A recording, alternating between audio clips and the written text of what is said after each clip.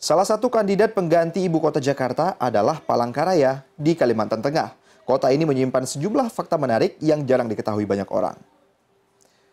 Luas kota Palangkaraya bahkan empat kali lebih besar dibanding Jakarta. Luas kota Palangkaraya mencapai 2.400 km persegi. Dengan luas yang begitu besar, Palangkaraya menjadi salah satu kota terluas di Indonesia selain kota Dumai dan Sorong. Dari luas 2.400 km persegi, kawasan terbangun baru mencapai 60 hingga 70 km persegi. Wilayah Palangkaraya masih banyak diisi oleh kawasan hutan. Kota Palangkaraya diresmikan langsung oleh Presiden pertama Soekarno pada tahun 1957.